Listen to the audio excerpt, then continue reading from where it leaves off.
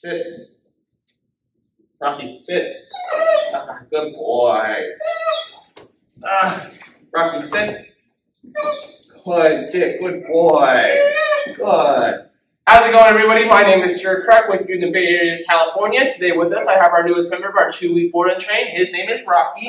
Rocky is an 11-month-old Labrador Retriever, and he really struggles with controlling his energy and his impulses. He likes to pull, he likes to jump, does not listen whenever there's anything going on around him. He's decent at his obedience when around low-level distractions, but anytime he's out on a walk, he's out and about in public, he does not listen whatsoever. So go ahead, check back with us in a couple of minutes, and you'll see his transformation. Thanks, folks.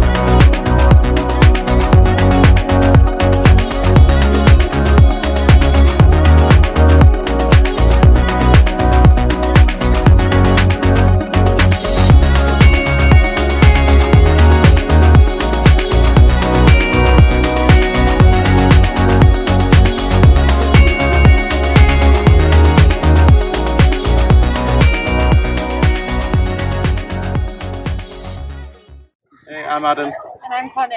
and this is Rocky, our one-year-old Labrador. Why did you send him to our two-week board and train program? Um, before we sent him to you, he was uh, he really struggled with his obedience. Uh, going outside in a place like this would have been uh, just something we couldn't have done really before. Um, so, He wouldn't listen to us, he couldn't walk on a lead. And Rocky, he would just try and go to every single thing that he wanted to and not listen to us. What did you guys like most about his time with us during his two, his two weeks? Um, I think the, um, the contact, yeah, the contact with you guys all the time, you Stuart, on text or through the report card was. We always knew Rocky, and we felt he was always safe.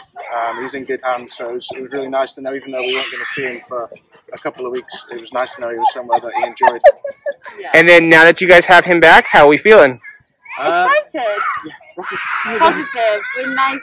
We're looking forward to being able to do more stuff with him and take him to new places and enjoy our time with him as opposed to getting stressed out.